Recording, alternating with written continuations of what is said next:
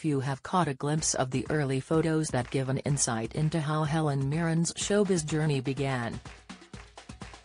Pictured here are the moments captured in time by photographers' lenses, following her as the star of Cleopatra at London's Old Vic Theatre, which she took part in at the tender age of 20 although the 76-year-old made her acting debut as a teenager with a Hamlet performance in 1963 and a role in A Midsummer Night's Dream in 1964, it was the 1965 performance of Antony and Cleopatra that many view as her big break.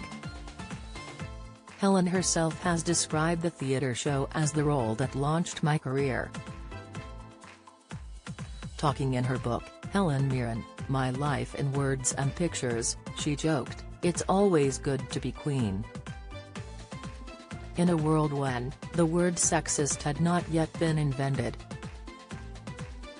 She recalled the challenges of being in an environment full of testosterone and chaotic male hormones and the endurance test of suffering from flu at the same time, and in those days, she even did her own hair and makeup. The unveiled photos might be a far cry from the Helen Mirren followers know and love today, but they are an intriguing glimpse into how her glittering career began.